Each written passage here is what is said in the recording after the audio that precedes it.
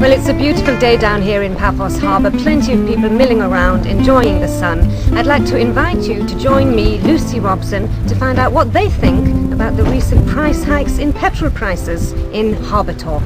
Something's got to happen, happen sooner or later. Something's drastic has got to be done about it because people just don't be able to afford to run the cars. You considered walking instead of using your car to save petrol? It's not, it's not something you can also consider. For me to walk here is going to take me two hours. By the time I come here, I will be to finish work, go home and sleep again. I'm so tired. There, there is no public transportation in Cyprus. They are, but if I don't walk, I'll never get any exercise. Good idea, but they would not do it. Why not? They cannot, they are incompetent.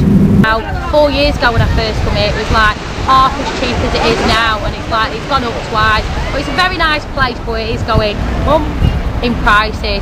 Prime example, your colleague said to me, petrol goes to petrol to the next thing to the next thing. I'm a traditional Paphian. Uh, for the petrol, you ask the, the people who get involved with. It's, it's, it's all money. What they've done is they've increased the price of petrol, but they've still maintained that everybody pays road tax. And even that is not fair. For the simple reason, for a small car, you'll pay £30. I've got two cars, one's £30, one's £274. They've got to decide how you're going to pay your tax. Is it through petrol or is it through paying your money for your road tax?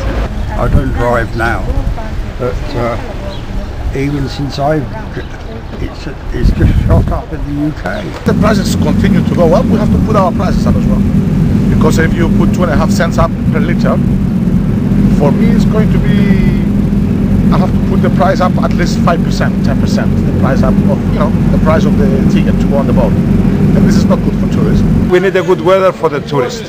The petrol, the prices up and down, I think is the same. Thank you to everyone who spoke to Lin TV this week. We'll be back next time with more views from Paphos in Harbour Talk.